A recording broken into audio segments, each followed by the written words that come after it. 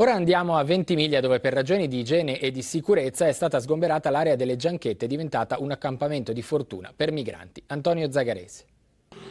Non c'è nessuno oggi che cammina nel greto del Roia. Sono arrivati questa mattina a Ruspe e Cassoni, un'operazione della polizia di Ventimiglia, come deciso dal prefetto alcune settimane fa, sgomberare l'area delle gianchette adiacente al parcheggio sotto il cavalcavia lungo gli argini del fiume, solitamente rifugio per migranti, motivi di sicurezza e igiene pubblica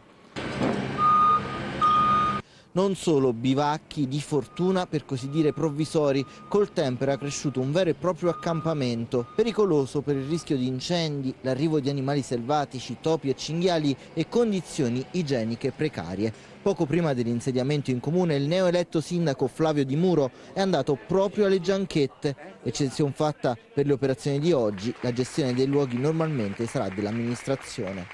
Dovrebbe aprire il primo pad per eh, minori, donne e soggetti vulnerabili, eh, c'è un bando della prefettura in corso per 600 posti CAS in provincia di Imperia, quindi magari anche qualche altra realtà fuori Ventimiglia può dare un contributo alla città per i sistemi di accoglienza. Su questo ne parlerò con il prefetto, se del caso sarò anche al Ministero dell'Interno. La convivenza tra residenti, commercianti e migranti, l'accoglienza sul territorio delle persone in transito è stato uno degli argomenti della campagna elettorale e sarà uno dei temi di confronto con l'opposizione guidata da Gabriele Sismondini. Per ora confermate le scelte di prefetto e commissario. A Ventimiglia ci saranno quattro pad, punti di assistenza diffusa destinati ad accogliere e minori.